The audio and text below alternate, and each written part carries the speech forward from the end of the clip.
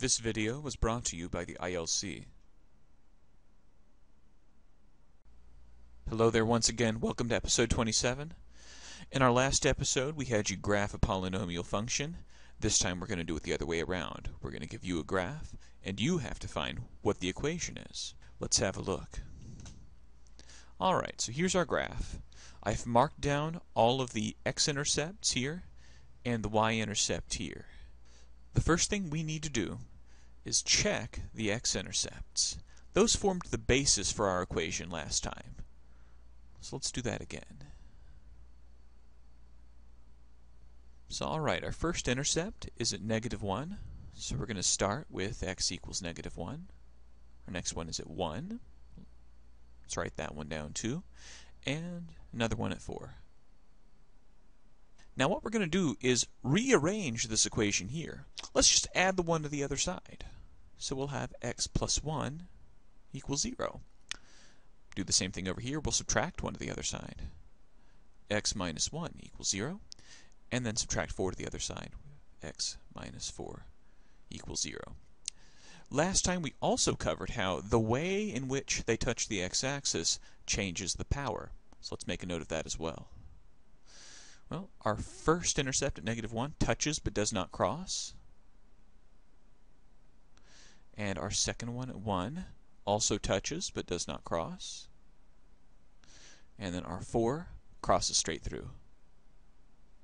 Alright? And if you remember from our previous episode, if you touch but don't cross, that's second power. But if you cross directly, that's first power. So with that in mind, we can start assembling our equation. We're going to start with y equals. We have no idea what the leading coefficient is yet, so we're just going to put an a for that. We'll figure that out in the next step. Now we'll write down our pieces. Our first piece is going to be x plus 1 raised to the second power times x minus 1 also raised to the second power times x minus 4 raised to the first power. That's going to be the framework for our equation, and it's actually almost finished now.